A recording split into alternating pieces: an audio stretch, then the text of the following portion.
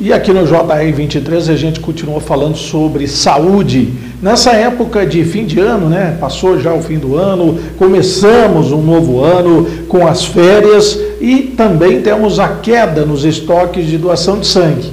Mas não é só sangue que falta, falta também leite materno para atender os bebês prematuros. Guilherme, o Lucas e o Davi nasceram prematuros e estão na unidade neonatal da maternidade. A mãe deles não tem leite suficiente para alimentar os trigêmeos e vem contando com o banco de leite do hospital. Eu tenho três crianças, eu não dou conta de amamentar as três.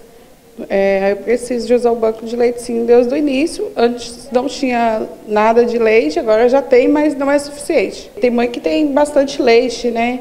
Consegue para o bebê delas e para o bebê das outras ainda. Este é um dos 17 bancos de leite disponíveis na cidade de São Paulo.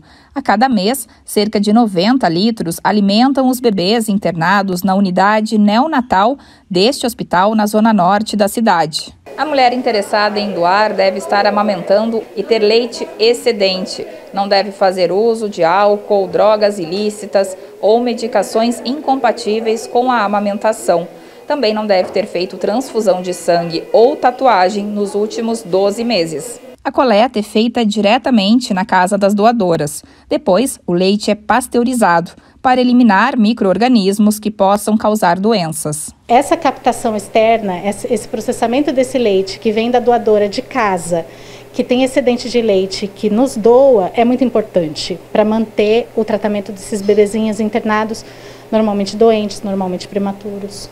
Lembrando que Franca, né, na Santa Casa, tem o banco de leite materno que atende não só Franca, mas também toda a nossa região.